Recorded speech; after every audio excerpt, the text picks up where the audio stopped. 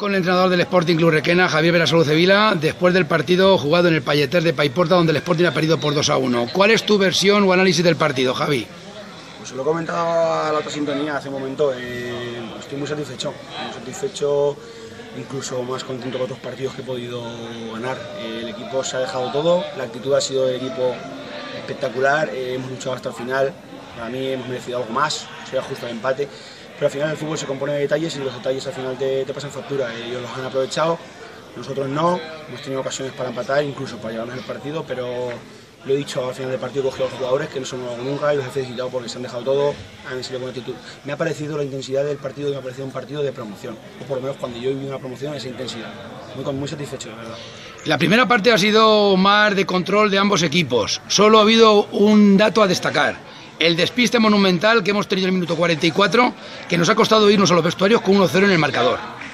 Ahí está, los detalles que te he dicho, esos son los pequeños detalles que, te condicionan todo el partido. Y en el minuto 44 te vas al descanso con 1-0, ya tienes que salir a subir un poquito más de riesgo en la segunda parte.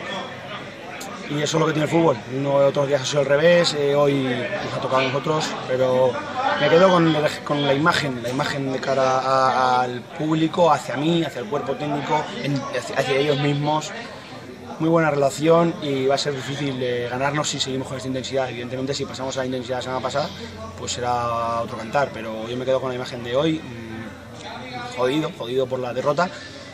Pero bueno, esto queda, pues no queda liga ni nada, madre mía. La segunda parte una pena, ¿no? Porque hemos tenido una triple ocasión de gol donde parece ser que en el último remate un jugador del Paiporta saca el balón bajo línea de gol con la mano.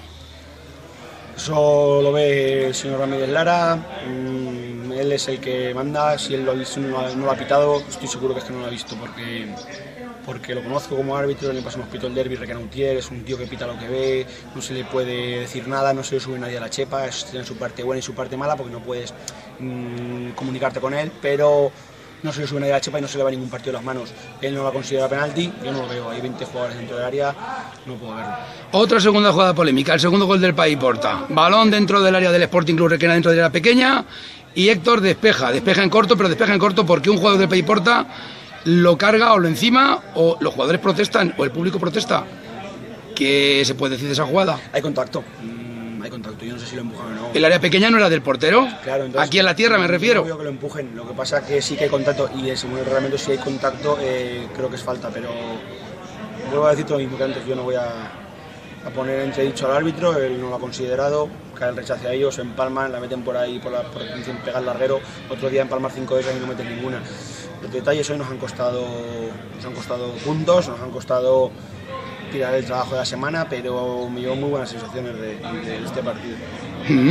Muy bien, Javi. Pues muchísimas gracias por tus declaraciones. La verdad es que el equipo ha luchado, ha trabajado, se ha dejado la piel, con poca suerte en determinados momentos, con despistes que nos han costado el partido. Pero se ha visto un buen partido de fútbol, no brillante, pero sí con intensidad, entre dos equipos que seguro, seguro, a final de temporada estarán en la parte alta de la liga. Pues sí, la verdad que me importa felicitar a Descalzo por el trabajo que lleva detrás, tienen muy automatizado toda la salida de balón, hay, muchas horas echadas y bien echadas, eh, se lo he dicho también antes a, él, felicitarlo por el trabajo porque ahí se ve que no están arriba por casualidad y que sigan así porque son muy buena gente, tengo muy buena relación con muchos de ellos y da gusto venir a campos donde, donde te valoran y puedes valorar al rival y no hay ninguna mala cara, ningún mal gesto, es solo bonito del fútbol. Pues enhorabuena por la lucha y por el trabajo. Desgraciadamente es la derrota, enhorabuena por una derrota, pero muchas veces, aunque se derrote, aunque salga derrota de un campo, hay que dar la enhorabuena. Enhorabuena al equipo y a continuar luchando. Venga, gracias.